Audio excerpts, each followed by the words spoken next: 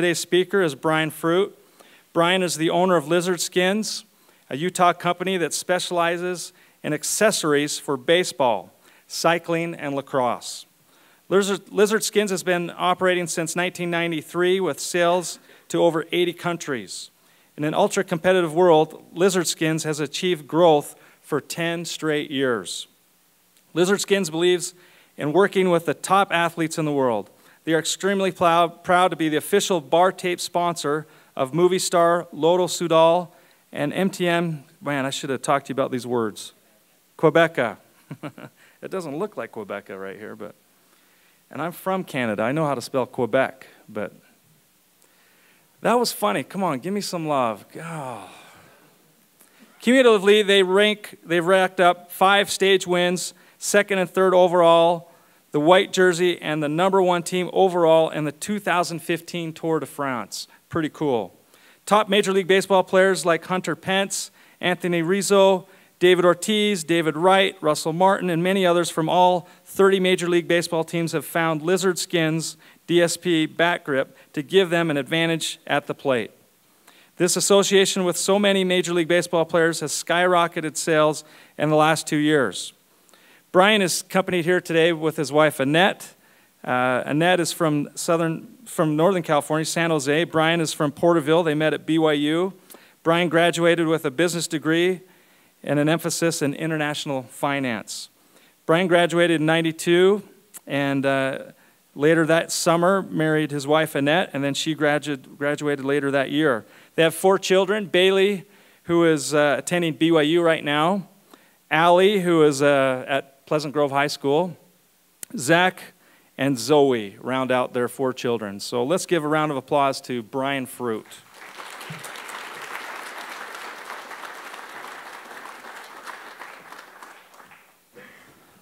I'm going to avoid that. Be on here? Okay. I don't want to be behind that too much. Um, so it's exciting to be here with all of you today. Uh, Brad's a good friend of mine, and um, it, uh, you got to be careful being friends with Brad, apparently. Otherwise, you get roped into this. So, Lizard Skins has been in business uh, since 1993. Um, we started out uh, very, very small. Uh, I was actually a student uh, at BYU, and I had the opportunity to, um, to buy some parts from a company going out of business in Salt Lake and over a period of about six weeks realized that I really enjoyed the bicycle industry. Um, was able to, uh, to make some fun contacts during that, uh, during that time when we were liquidating those parts. And it led into the opportunity to, uh, to start Lizard Skins. Uh, our very first month at Lizard Skins was, was small. Uh, I think that we did um, you know, less than $500 of total sales that first month. So when you say grassroots, you know, starting from nothing, that's, that was us for sure. Uh, we started off with a chainstay protector, which uh, protects the frame from getting damaged. And um, we got what was called a design patent on that. Um, there's a difference between a design patent and a utility patent, which I learned later. Uh, pretty expensive uh, learning experience. So we created a niche, and uh, in the cycling world, Everyone uses some type of a chainstay protector now, and they generally call it a lizard skin. But they're not all lizard skins. There's a lot of copies out there because we got the wrong type of patent. But uh, still a good learning experience. Um, as we went along as a small company, uh, trying to find our way and our look and our style, uh, the, the, logo has taken uh, a few changes um, in, in the way that it's been rendered, uh, which has been kind of uh, kind of fun as we, as we go along. The products have also changed. Uh, had a lot of fun working with, uh, with our designer at Lizard Skins trying to put together um, this uh, PowerPoint and he's actually a, a UVU alumni. Uh, so it was kind of fun for him to, to help put this together. And looking back through some of the old products, on the very top up there, that's a slick grip. We actually made those here in Utah. Um, and it was our first grip. Uh, it's pretty, pretty fun to look at, you know, what that is today. But we did shin guards and rear suspension boots and Uh, in the middle of the tall grip, there's a lock-on grip. It has little aluminum clamps. Um, I was thinking about some of the impact that, that UVU has had for me. And years ago, um, probably 10 years, I'm going to guess, yeah, at least 10 years ago, uh, Rick Farr was uh, implement or helping with, uh, with these lecture series. And a friend of mine was a student, and he said, Hey, you know, we like to go to lunch together. Why don't we just come and listen to this lecture series for lunch instead? So I said, yeah, That'd be great. We'll do that once a week. And that particular year, Rick had tapped into a group called Young Entrepreneur Organization. And uh, that has since morphed into just be Entrepreneur Organization because, frankly, we're not all that young anymore. Um, but they had three or four speakers that year from this business group. And uh, I ultimately ended up joining that business group. And I think that's the real reason we've had 10 years of growth. So it's, it's pretty cool to see how that goes full circle and how coming to a, a lecture series at UVU has really impacted our business, which you'll see uh, moving forward. But these lock-on grips, uh, one of the speakers at the uh, UVU lecture series that, that I went to talked about packaging a DVD with maybe a cookbook or something of that nature. So, wow, we have DVDs on mountain biking. We make these cool grips. So we put it together. And uh, it, was, it was awesome. The first batch of those we did, we sold um, about 10,000 units just in a few weeks. Uh, so we're like, hey, this is pretty cool. Um, and so that, that's, uh, those memories are coming back now as, as I'm standing here. Uh, we were able to um, branch into making a road bike tape uh, called Durasoft Polymer, DSP for short. And the idea with that was is we would we went and visited with some manufacturers and other industries. And we we're like, can you guys help us make a mountain bike grip? Well, sure. And what they were going to present to us just didn't make any sense. But my general manager's like, you know, literally as we're walking out the door, could you make a tape for us? Sure, we could make a tape. And over about mm, nine months, we were able to get this tape prototyped and rolled it out um, to the world for road bikes.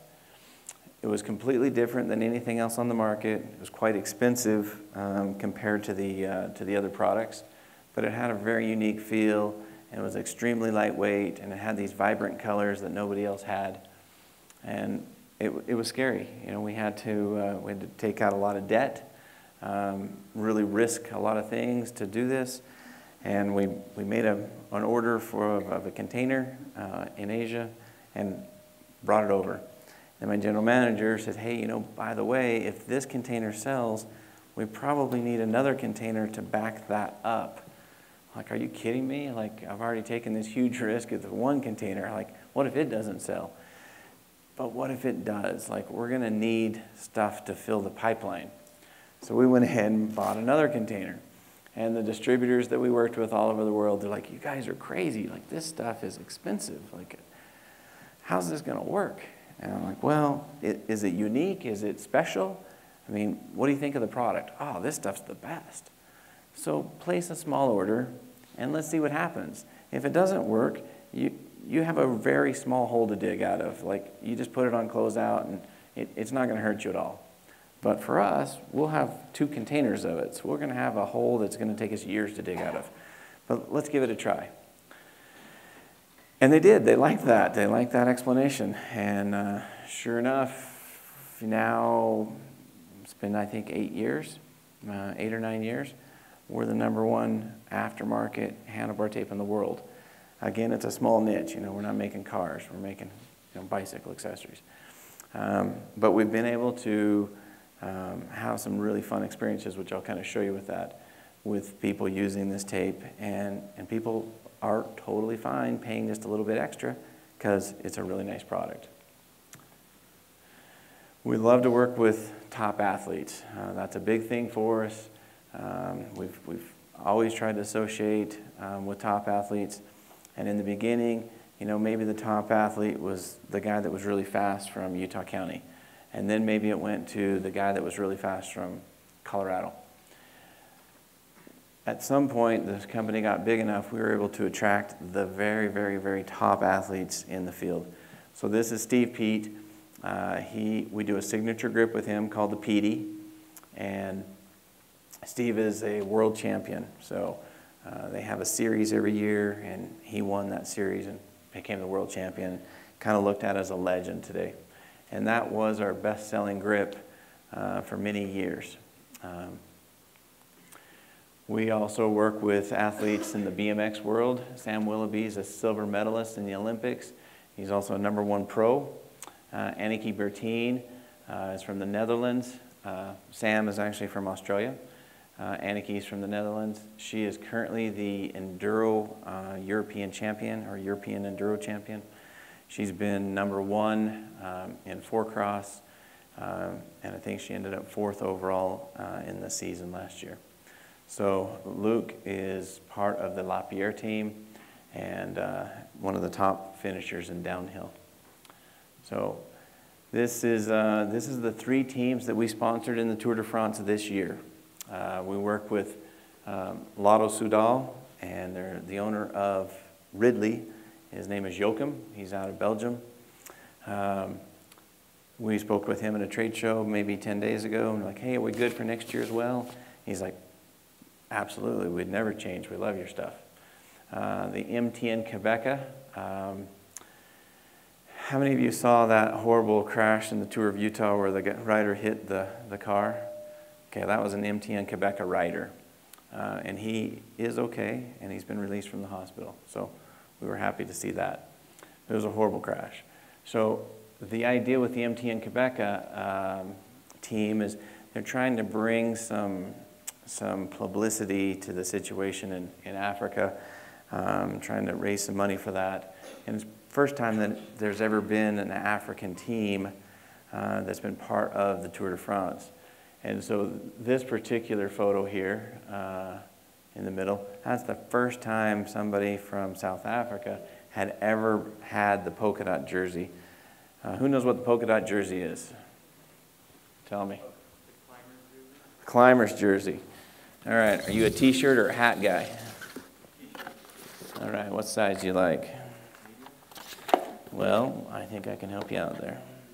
Let's just find. Look at that. Okay, that's not against the rules in here, right? There we go. A lot of rules. Yeah, as long as there's a lid on it. Great. So, really cool opportunity uh, to, to be part of history there. And then uh, Movistar. Anybody know who this rider is here? Well, yeah, somebody else. We've got one cyclist guy here. No one else? Oh, boy. Yeah. No, right here in the white jersey. White jersey. Anyone? I'll give you a hint. He's from Colombia. Is it Quintana? It's Nairo Quintana. You a hat or t-shirt guy? hat. Small, medium, large? All right, we'll get this passed out here. Well, uh, I'm not sure how well this is going to go, but let's give it a try here. Oh, that was close. I got to the row. Should get something for that. So, Nairo Quintana. So, um, he took second in the Tour de France uh, two years ago, and I love watching the tour in July. That's like my favorite thing to do. Um, I'm not going to lie, I watch a lot of TV in that month. Uh, wake up early, and I got to get my fix in before I go to work. But love watching the tour. Um, Nairo just was spectacular. He took second overall. And uh, I told my marketing guy, we got to have this team. He's like, sweet, you're going for it. Yeah, I love this. What's my budget? We got to have this team. I heard you. That's sweet. What's our budget? I got to have this team. So you're not going to give me a number. No, I'm not going to give you a number. You got to figure it out, though. I got to have this team. So he was able to negotiate with uh, Movistar and the bicycle they ride, which is Canyon. And lo and behold, we were able to get a, a deal put together. Um, I spent a couple of years in Colombia, so there was definitely a connection there, and I felt like this guy had the potential to win the tour overall. Last year, Nairo won the Giro d'Italia, which is the second largest bicycle race in the world, and this year he got second in the tour again, so he's now had two seconds in the tour and a first in the Giro. Um, my money's on him for next year, so uh, I think it'll be awesome. And this was, uh, my wife and I were able to go over and spend uh, some time at the tour this year. Uh, this is the Movistar bus. They have about 10 different vehicles that they use to support these races. It's quite small, but you can see our little tiny logo there. I don't know how much per square inch we're paying for that, but it's a lot.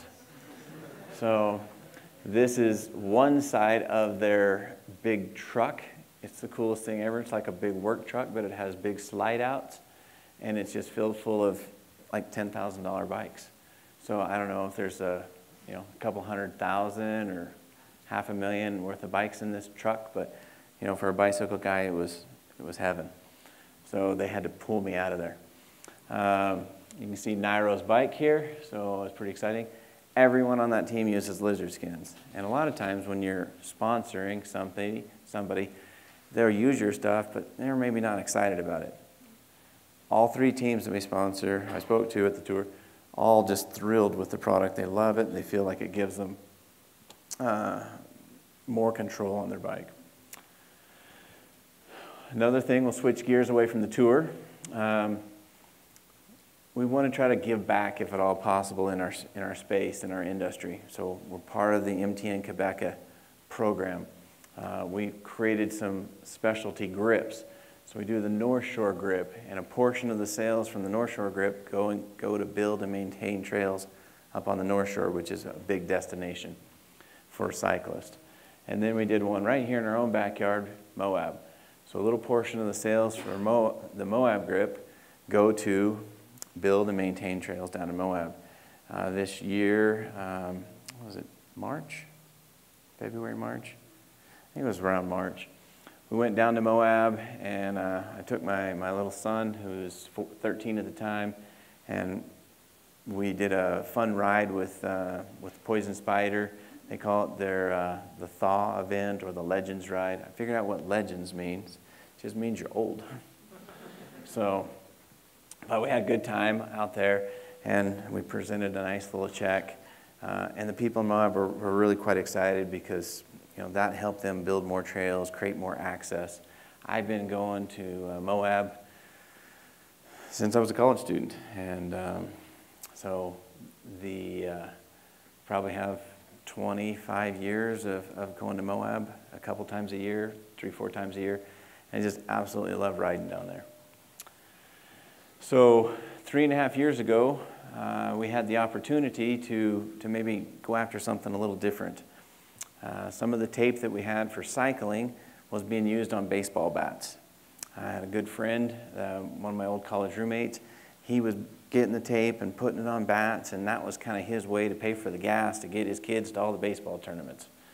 And he, and he had three boys, so he went to a lot of baseball tournaments. And he's like, This stuff is killer. You got to do something with it.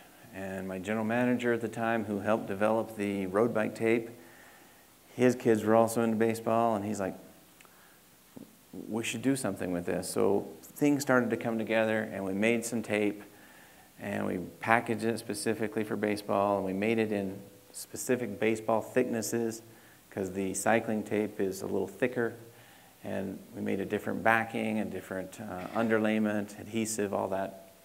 And we went to a show, and it's called the American Baseball Coaches Association, and it was in Anaheim that year, and we won Best of Show. And guess what happened? Anyone? Nothing. Nothing happened. we won this award, which is the lousiest logo ever. I mean, like, they need to go back to college on that. That's, that's horrible. Um, and nothing happened. I mean, we didn't, nothing. So, like, wow. Okay. And, you know, we focused on selling bicycle stuff, and we made a couple of calls, and there was a couple of people buying it baseball. And, and honestly, I think we ended the year with twenty or thirty thousand dollars of sales, and we probably had twice that much in expenses. Uh, like, huh, well, that was exciting. Um, and then we went to another show, and a local by the name of John Buck. Anybody in here know John Buck?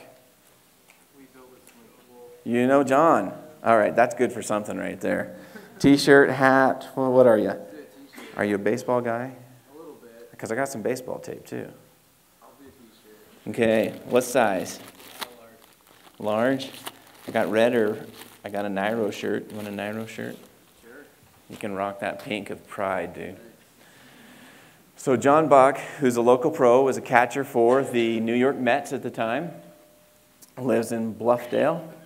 Um, he wanted to go to the trade show, so he called his Taylorsville High School coach and says, "Man, I really want to go to this show, but it's sold out." This is a pro.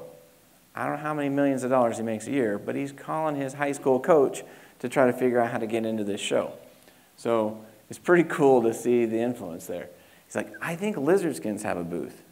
Do you think they would let me show my product inside their booth? I don't know. We could, you should ask. You know them, you ask.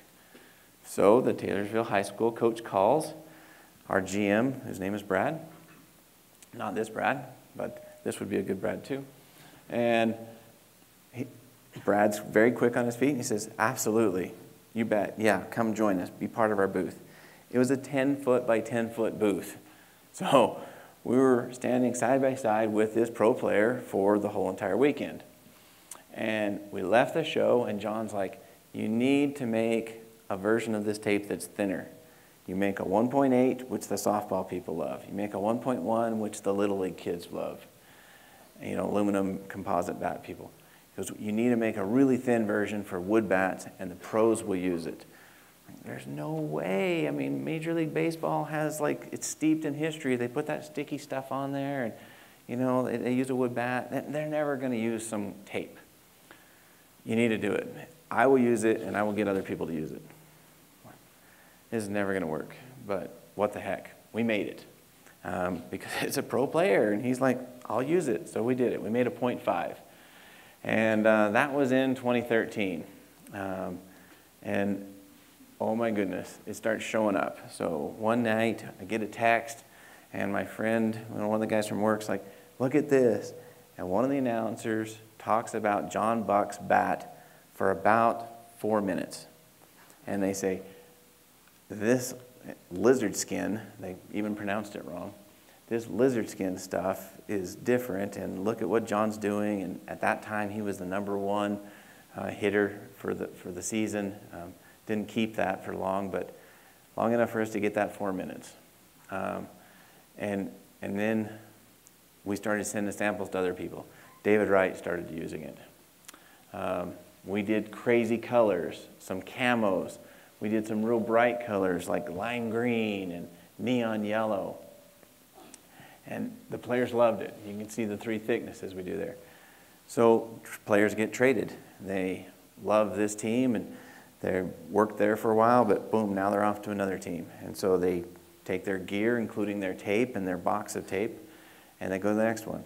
And we start working with equipment managers. Well, before you know it, we get an invitation to go to the equipment manager show with Major League Baseball. And we were able to convert that into all 30 Major League Baseball teams actually buying product from us for their players. So this is some of the athletes that we currently have endorsement deals with. Um, there's a significantly larger number of athletes that use the product, um, but these are the ones we have permission to, uh, to use their names. So Hunter Pence, um, David Wright, Anthony Rizzo, Big Poppy. I'm sure there's a few of you here that know Big Poppy. So you guys might not know Nairo, but you probably have heard of Big Poppy. So what is, uh, what's, what's Big Poppy coming up on right now? What's, what's, the, what's the historic thing that's going to happen hopefully in the next few weeks? What is it? 500 home runs. So he's coming up on 500 home runs, which is kind of a big deal. So uh, three weeks ago, the equipment manager for the Red Sox said, David is coming up on 500 home runs. That's a big deal. We need to do something for it. Why don't you make a special tape for him? So we reached out. This tape is actually made in China. It's a, it's a large factory over there uh, in the south of China. Um, you know, interestingly, um, you know, we hear a lot of stories about how uh, bad factories are, how bad the treatment is. You know, there's even stories about how, um, you know, there's, there's that, that, ladies aren't necessarily given opportunities to, to be, be in charge of much. We have just the opposite effect. It's a 1,600 employee factory, and there's a woman running it, and she is absolutely in charge, and she's so smart. So we reach out to her, and she's like, "Oh, we totally want to be involved in this." So here's a here's a company based. They have an American owner, but all their manufacturing is in China, and they make a custom edition of the tape that says 500 home runs on it, and it goes from a concept to product in David Ortiz's hands in less than three weeks. We're talking molds, manufacturing, shipping, design, everything. And so this is one of David's signed bats here, and we wrapped the tape on it yesterday. And uh, you'll see that on TV. You'll probably see it on Sports Illustrated. And this will end up, not this particular bat, but the one that David uses for the 500th home run will end up in the Hall of Fame. So we're pretty excited about that. That'll be our second product in the Hall of Fame because David's bat from the first World Series, well, from from last year's World Series, or year before that, sorry, ended up in the Hall of Fame. So, so pretty excited about that. Work with Russell Martin, um, and I was watching a, a game the other night, and they were just ripping home runs like no tomorrow, and the tape just shows up. So anytime you're watching a baseball game, look for some colorful tape on the bat. You'll probably uh, that's going to be lizard skins. So these top sluggers love the tape, and the media loves them. So, our first, let's see, right here, our first cover of Sports Illustrated, it's probably hard to see from there, but you can see that Prince Fielder has some blue tape on his bat. So we get a call from some friends and said, Hey, have you seen the front cover of Sports Illustrated? No. Well, your tape is on there. And like, oh, that's kind of cool. So we run down to the store and they're sold out, so we have to order one online. And then David Ortiz and the Red Sox win the uh, World Series, and bam, the tape shows up again. Uh, we end up uh, last year during the, uh, during the World Series, and Hosmer loves the tape as well. So shows up there, Hunter Pence up above. So we end up with five covers of Sports Illustrated with our tape showing up, which is unheard of. We're not Nike, we're not Under Armour. We're located less than two miles from the campus here. I mean, it's just, we're, we're a local Orem, Utah company, and we've changed Major League Baseball. Here's a little bit of uh, some social media pieces. Um, now, most of these are not our photos, and, and uh, you know, we, we, we didn't uh, we don't use these on our social media because we don't have permission to use the Dodgers or stuff like that. But just kind of fun for a presentation like this to show off some of the stuff happening. This is the uh, Dodgers dugout, and uh, you can see how many of the bats actually have lizard skins tape on it. Um, we had a really good year last year, and uh, a couple of the key, uh, um, my sales manager and general manager, said, man, we need to reward everybody. Let's go, let's go watch a baseball game. So we took the day off of work, flew everybody to Arizona. Uh, Luis Gonzalez actually hosted us. Uh, we were all able to go down on the field for batting practice and uh, as, a, as an entire company. So I think there's about 25 of us that flew down, um, spent the night, and then everybody, um, you know, flew home or did whatever they wanted the next day. It was really fun to be able to have a group like that, be down on the field. Um, this one, that's a little bit faded there, might be kind of hard, but um, is Bono from U2. And apparently he was hanging out with Hunter Pence. And he thought, man, that'd be kind of fun to like take a photo with Hunter Pence's bat. So this gets sent out all over the world through Twitter, I believe. And here's Bono with lizard skins on the bat. So a couple other uh, shots there. You can see uh, the tape on, on some of those other bats uh, in the dugouts. So pretty exciting stuff. A lot of this is sent out by Major League Baseball. Um, with all the pros using it, then Commerce says, holy cow, we need to get a part of that. We want to be part of that. So it's a pull through the system. So we ended up putting a deal together with Dick's Sporting Goods, and they're by far the 800 pound gorilla in the sporting goods space. They're going to, they're going to rough you up if, if at all possible. Um, but they, they also can move some serious quantity of product. It's a public company, and, and if they can sell it, they, they don't lack money to go buy it. Um, so they put some in some stores and it does well, and they put some more in some more stores, and oh my goodness, it's going nuts. And one of the big executives for Dick's is like, What are we doing? Like, we got to get behind this stuff. Like, quit messing around. Um, and so the buyer just goes for it. And they talk us into paying for 20 end caps. So the end caps we we're expecting is like the one in the top corner here. And they, they even allowed us to do our own graphic on the top, which is apparently not normal for Dick's Sporting Goods. And we paid, I don't know, a few thousand dollars, two or three grand, and we were able to, and that was the, the cost to print the header cards for 20 um, end caps.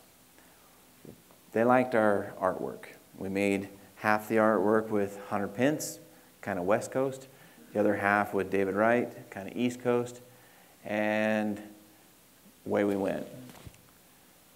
Dick's put it in all 600 stores, and they only charged us for 20. And it sold like crazy. So each store is different. Some stores are bigger in baseball, some are smaller. Uh, the middle one here, that's a smaller baseball store. The one in the corner is obviously a bigger baseball store.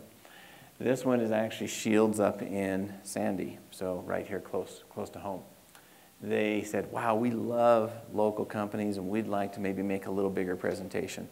So they went from selling a couple hundred dollars of product um, on each order to a thousand plus dollars of product on each order. So increase their sales dramatically. This is our team. I don't think things really happen by myself. Um, it's, it's the team here. Brad is the general manager in the blue shirt there. Um, we have a lot of UVU students that actually work with us, uh, you know, whether they're in the shipping department or uh, in uh, production. Um, and it's good. One of the guys here um, is uh, part of our team. He's a pretty crucial part. Uh, it was kind of a neat opportunity there. He graduated um, from UVU, I think, uh, with an associate's. And he's like, all right, you know, where's my raise? Like, well, I mean, nothing's different from what you were doing yesterday till today. So, I mean, just because you got the associates doesn't mean there's an automatic raise. And, uh, and so, you know, we struggled. We were, we were having a hard time, like, getting our groove going right. Um, and, and somebody else offered him a job at a huge improvement of, of, of compensation. Huge. I'm like, oh, and I started thinking about it, and I said, you know, and, and he was nice about it. He's like, I really like it here. I like what I'm doing. Um, but this is a big raise. Um, this is a good opportunity. So we made a decision that we would match that price. And he made a decision to stay. And it has turned out to be an absolute wonderful thing for both of us. He's a huge part of my team, and I think he thoroughly enjo- enjoys his job and the things that he's getting to do. Um, and, and so I would, I'd encourage you guys as you get out there in the workforce, communicate with, with the company you work for. Um, a lot of times people are maybe afraid to, to talk um, and they will just maybe jump or you know leave or you know maybe they like where they're at but you know somebody else is offering a couple dollars more. So they're just going to go do that. But this particular employee he was real nice about how he communicated it I like it here. I like what I'm doing. Um, but this is a big race. And uh, can we have a talk about it? It Took a little time, it didn't happen overnight, um, but we were able to uh, keep him as part of our team. And that's happened actually with, with quite a few of the employees. Um, if you end up at a smaller company, there's not an HR depart- department, and so those conversations probably need to happen because owners get tied up with trade shows and trying to make sure that all the paperwork gets done and you know where, where the next product's coming from. But um, the cool thing on being on a smaller team is you really can feel like you're moving the needle. Um, you know, this particular guy helped put this presentation together for me, so I'd be in trouble today if he wasn't still with me. So this is the future. Um, well, it's, it's, it's, the future home at least. We are building a new building. It's on the 5th East and American Fork. Um, it's right next to the Four Food Groups building. Um, and so the walls are uh, up on the building now, and the trusses are uh, in, and they'll be putting the decking on the, on the trusses shortly. Fingers crossed, um, December, January, we'll be able to, uh, to move into the new place. Brad's promised to put his work clothes on and come help us. Maybe he can solicit a few of you strong guys to come with him. So, um, Brad wanted to make sure I left a little time for, um, for questions. So, um, what, uh, anybody have any questions on, on what we do? Are you moving more um, local production, or is that the reason for the increase of size of your building? That's a great question. Um, let's get you. Uh, let's get you a little. What size are you? Might. Let's see if we got a large. Ooh, we do. Okay, let's see how good we are. I, I got to try it. I mean, I never could do this when I was a student. All right, you ready? Ooh, hey, good snag. The guy behind you is happy. All right, uh, so our, our motto basically is we're going to make the stuff wherever it makes the most sense. So some companies um, are averse to employees and they don't want to have any employees in their building or they want to minimize it as much as possible. So they just want to farm everything out. Um, other companies are just bent on making everything in-house. Um, we're, we'll just do whatever makes the most sense. So we make uh, about 10 to 15% of all of our products here in-house. Uh, and then the rest is imported from either uh, China or Taiwan, uh, the UK, um, multiple sources here in the United States. Uh, we make some stuff up in uh, West Valley. We make some stuff out in Riverside, California. Um, so the reason for the new building is the growth. So is the short answer. But, but we'll make it wherever it makes the most sense. So we're right now looking to do some new manufacturing in, in Vietnam. Um, let's go with this guy over here. Do you expect Dolph to branch out at all to like maybe tennis racket? Absolutely, yeah. Um, what, what, what size are you? Don't tell me large because we're out of large. Okay, let's see, maybe. Oh, medium, XL. Got some lizard skin bat tape and I got some hats.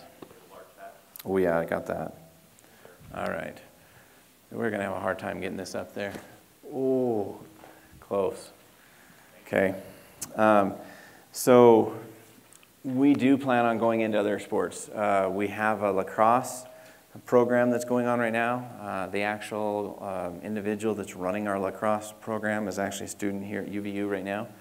We work around his program, so it's kind of crazy. Comes in for a couple hours, goes to school, comes back for an hour. Um, but he's doing a pretty good job. He will actually beat the first year of baseball. Um, I don't know what will happen the second year, but the first year with lacrosse is going to actually be faster than the first year of baseball. And then I would assume that uh, hockey and racket sports would be coming next. A woman, the perfect, because we got some girl shirts. Hey, I was wondering, so how do you market in other countries besides just using like their? That's a great one. That is a great one. Um, I have some, some lady t-shirts here. I'll let you. What size? So you don't have to ask. Yeah, yeah, I got, I got three here. My wife will show you. You can, there you go. Go side. Perfect. Um, so we go to trade shows all over the world. We just got back from Eurobike, which is in Friedrichshafen, Germany. Uh, it is a crazy show. There's no hotels. You're driving forever. Oh, it's just nuts. They have air conditioning. They never turn it on. Like, ah, it's nuts. But um, we, we try to come up with different angles. So we go to that show. People from all over the world come to that show. It's the largest bicycle trade show in the world. And they have over 300 doors, door handles, coming in and out of the different halls of the show. It's a, it's a crazy design. It's not one big room, it's a whole bunch of rooms. And we wrap every one of those door handles with our lizard skins tape. So even though we're a small company, we have a huge like impact at this show. Um, we also will get online and we'll see what other companies, who they're using. Like who do they have in the UK? Who do they have in Germany? Um, we go to festivals. Um, back before the internet was so big, we would just look at the back of people's catalogs. And, and we make a lot of calls, you know, a lot of emails. Back in the day, you'd send faxes. Many of you don't remember that, but it would be a fax. Okay, let's go right here. Um, a couple questions, but um, it sounds like where you started to grow was in bikes. Are you looking at um, getting into other areas like the extreme sports industry, like I don't know, like ski grips and things like that? We've had some people talk to us about ski grips, you know, that our tape could work well in that market. Um, it's probably not on our short term radar. So, yeah. Up there in the top, uh, we've got another gal, I think. Um, when you set up the manufacturing in other companies, in other countries, Yes. do you personally go or do you use a mediator? Um, we want to manage all that ourselves. So, so, yeah, we do it. We don't go over there a lot. You know, there's this cool thing called FedEx, and like you uh, send them what you want, and they send you a sample. And so it's amazing, like how smooth that works. Like this sample of this tape, that's three weeks, like crazy, like from concept to completion, three weeks. So it's pretty awesome. But I have been to all the factories, and and I will say every single one of the factories that I've been to, I'm absolutely blown away by the quality and and you know what it's like in there. Right here. Um, quick question that I had. Um, I feel like from what I've heard, and also I think any of us can attest this, um, as well, like if we're looking for a job and trying to become like professionals just graduating from college and such. I feel like it's becoming more and more of a, it's not what you know, it's who you know. And from what I understand from what you said, it sounded like just maintaining those relationships is kind of the way you got started in just your networking. So what advice do you have about that? So that's wonderful. Thank you very much. Um, see if we've got see if we got anything else there. So there was a uh, a friend of mine that's in my business group, and he's got a nephew, and apparently this kid's super smart. Like he's gotten all kinds of awards in school, and you know he's messing everybody else's curve up. Um, that's the kid. So he's like, man, this, you know, we were trying to hire for the baseball division, and uh, he came over. And so tell me about yourself. Well, you know, I'm so and so student, and uh, I, I, I need I need to work at a job for a little while so I can so I can get my master's. Uh, I'm not going to be allowed to get into the master's program until I, I work somewhere for a little while. And that was it, man. That interview was over. It was like three minutes. Like he didn't care one bit about me and my company. He wanted experience so he could get his master's. And he sent me an email last week. He's still looking for a job. So it's it's got to be a win-win. Like if I hire somebody, I'm going to put tens of thousands of dollars into them. I'll even go this far that this is a great basis for you, but I'm going to hone you and I'm going to make you even better. Like the, the amount of no, no one has ever left me and gotten less money. You know, they have more skills. So think about that. Get into the place that's going to help you get more knowledge and help you move up that scale. But don't, don't try to take from that company what you want. You know, give them what they need and you're going to get what you want. Does that make sense? Up here in the hat. For those that are uh, looking to start their own business, Crazy. is, uh, you did it in '93. Started in 93. What's the best advice for us? Um, yeah, learn, learn how to get by without a lot of sleep. So that, that'd probably be, I mean, I, Maybe patent knowledge? Patent knowledge is an awesome one. Yeah, that, that was that was probably a, a million dollar plus mistake, maybe a couple million dollar mistake. It, it, takes a ton of time and effort. Last night, I think I got home at 11. Uh, so I came home, tucked the kids in, went to the little scout thing. Our little boy got five merit badges, so we are pretty excited about that. And uh, then back to work to make sure that um, you know everything was taken care of, get our shipments coming. Um, but I love listening to other people. I love talking to other people and, and trying to learn. Some people may learn from a book. Other people may learn from coming to a, to a, a lecture series like this. I did. I, I, I, went to BYU and, and I went to this lecture series um, every single semester. My entire, once I took the first one, I always took it. It was like a one credit class. It was, it was an easy A. And I learned so much from it. So, you know, take those opportunities to learn and talk to other people. Um, right here in front there. Kind of on top of that, I know starting up a business is tough and stuff like that, but between 2001 and 2005, your business had a bit of a struggle, correct? Uh, no, it was awesome. That whole uh, 2001 to 2005. Yeah. I was reading, that you, I was reading your blog talking about the debt you guys were in. What kind of motivated you to do So, so 2001 to 2005, I bought my partner out, and um, and so there was goods and bads there. The goods was is now we had control and we could kind of take it the way we want. We just didn't have a lot of money. Um, but once we got him paid off, because it was a it was a royalty payment, it was a workout. Um, so he got the maximum amount, um, but he had to kind of take it, you know, over a four or five year. Uh, and, and it just kept us poor. Once that was over, then it really started to rock. So, Brad, are we out of time? We got one more? One more. I just had a question. Um, how does your company view your, what is your position on corporate ethic, um, social responsibility when you're sending work overseas? Do you have some sort of process for ensuring that your partners overseas are, they have ethical manufacturing processes? We do. So we go and visit all these places. We actually watch our stuff being made. Um, if we can make it here in the U.S., we absolutely do. Um, there's just some stuff that's pretty hard to make here now. Um, we have a big solar array up on top of our building, so we're trying to um, reduce our carbon footprint from that. Uh, all of our paper that we use for catalogs and packaging is all done through renewable um, resources. They call it FSC, so it's Forest Stewardship Council. Um, and these factories over there, I mean, I, I think the news kind of blows it up. Like everyone that I've been to has been nicer than the stuff I see here. So it's like it's very clean. It, the whole idea of like a drippy roof with like one little light bulb is not like that. Being run by 10 year olds. No, no, no, no, no. It's Good not. question. Well, thanks for that. Let's give Brian a round of applause. Appreciate you being here again.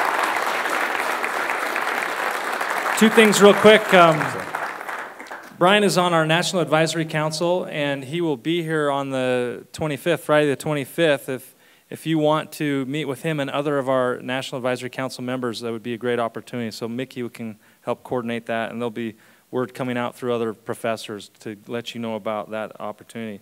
And then this Saturday is uh, an event, Slide the City. We've partnered, Business School has partnered with Slide the City to do a big slip and slide out here on 800 South. So you as students get uh, a 50% discount as UVU. So I think you need to go to their webpage or Facebook page and you can get that code to register 50%. And then if, uh, if there's a couple people in this class that want to volunteer, I need to get some flyers out and I can probably get you in free if you want to go on Saturday, but I just need some help for that. So come see me after. And then for those that are joining us for lunch, we'll be up there in just a little bit. But uh, you're welcome to come down talk to Brian real quick, and we'll see you guys next week. Thanks so much.